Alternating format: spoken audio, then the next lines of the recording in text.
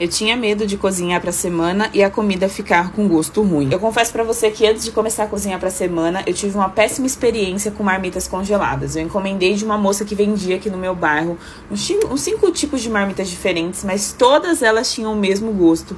Além de que quando eu descongelei, todas ficaram com água no fundo. Eu não queria mais cozinhar todo dia, mas também eu tinha medo de tentar fazer a comida pra semana e dar errado, porque eu era iniciante na cozinha.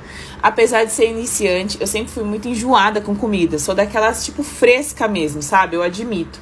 Então eu decidi tomar uma atitude. Já que eu não queria mais ser escrava do fogão, eu passei meses pesquisando, testando técnicas para cozinhar para semana. Algumas delas deram certo, mas muitas deram errado. Fui filtrando realmente o que funcionava de verdade e decidi colocar a mão na massa. Mas eu não contei para ninguém que ia fazer. Eu tinha medo de ser julgada. Então eu decidi fazer arroz para semana para fazer um teste seguindo as técnicas que eu aprendi a cozinhar corretamente. E não é que deu certo, menina. Eu fiquei chocada quando eu percebi. Quando eu descongelei o arroz e percebi que não tinha dado água, que tinha ficado gostoso, foi muito bom, uma vitória.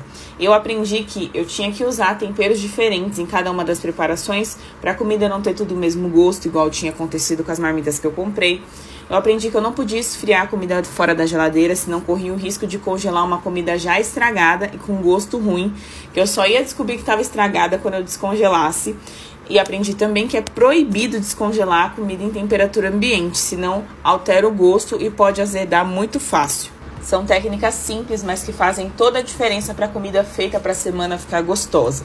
E se eu, que era iniciante na cozinha, conseguir fazer, qualquer mulher consegue, porque eu era toda atrapalhada, iniciante, não sabia fazer quase nada e fui aplicando as técnicas e foi dando certo. Então, se você quer saber mais sobre o método e as técnicas de cozinhar para a semana e a comida ficar gostosa, clica no link que tem aqui no meu perfil e me chama que eu te passo mais detalhes sobre o método completo.